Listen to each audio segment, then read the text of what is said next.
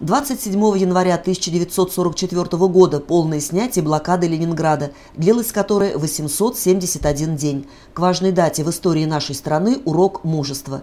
В СОЖ номер 3 члены городской ветеранской организации «Сотрудники музея» говорили о подвиге ленинградцев и о тех, кто город защищал. При обороне Ленинграда мужество и отвагу проявили и наши земляки. 226 человек удостоены звания Героя Советского Союза. Среди награжденных были и наши земляки. Это Петр Тимофеевич Харитонов, затем Стрельцов Владимир Яковлевич. Они получили звание Героя Советского Союза, а, совершив а, вот такие боевые подвиги на воздушных поступах Ленинграду. А вообще у нас а, по Маршанску насчитывается более 15 человек, которые были награждены а, медалью за оборону Ленинграда. И более 10 человек, которые были а, награждены знаком «Житель блокадного Ленинграда. Ольга Михайловна Коршунова о блокаде знает не понаслышке. Воспоминания детства с годами в памяти не стерлись. Холод, голод, бомбежки. Как самолеты летят, сразу тревога. Очень громко объявляется в любое время дня и ночи. Вот, мы все в подвал. Это пока мы жили на третьем этаже, пока до подвала туда и туда забьемся и сидим. А если бомба попадет, вот у нас попала бомба в соседний подъезд. Когда началась война, топить стало совершенно нечем. Эти кирпичные здания, эти ледяные стены покрывались еще и водой. Потому что ну, не отапливается кирпичный дом, понятно. А в Ленинграде ведь на болотах, на сваях.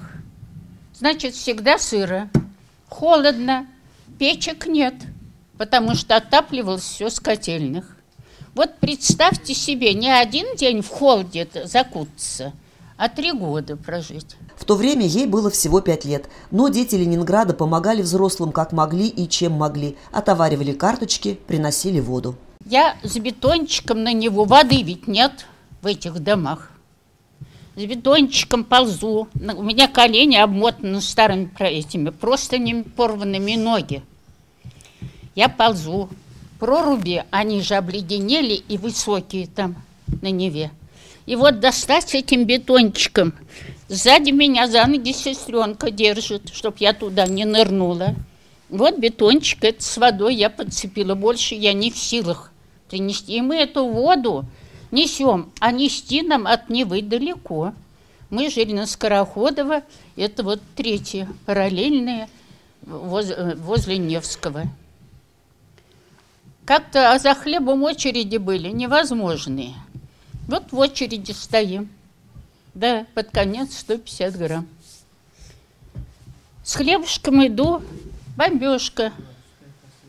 Вот знаете как?